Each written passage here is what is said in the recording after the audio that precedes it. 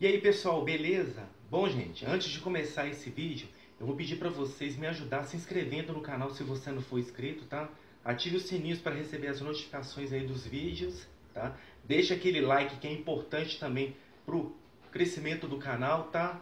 E compartilhe o vídeo aí com seus amigos e familiares, tá bom?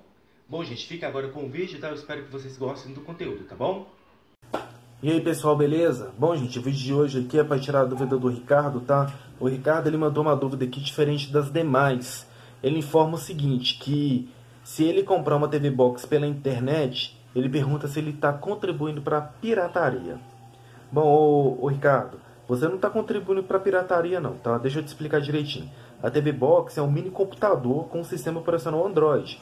Ele funciona como um celular, é, um celular ou um tablet, né? Tanto que os aplicativos funcionam no Android Box TV. Desta maneira, não será, é, não é proibido você estar tá comprando, pois esses aplicativos aí são baixados direto aí da Play Store. Ou seja, é, qualquer celular, tablet ou TV Box tem o mesmo sistema operacional aí. É o sistema operacional Android. Então, seja, não é pirataria, tá?